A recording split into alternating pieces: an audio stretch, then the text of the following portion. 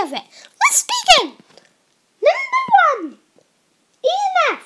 EMF can make a dog feel tense and make them feel uncomfortable. But beware, EMF isn't good for humans either. Breaks down the brain asset. So maybe you should and your dog to keep away from those iPhones and tablets for one day. Number two, entertainment. Entertainment involves things such as throwing the ball, walking the dog, so if you feel like it's about time you gave your dog some entertainment, that means you're responsible. Also give them some toys, but watch the toys because they have bad toxins on them. Number three, dog food. My favorite is Cesar because there's a cherry on the front. Buy your dog some dog food, but beware, some dog food can have bad stuff in it, so choose carefully. Make sure your dog will like it.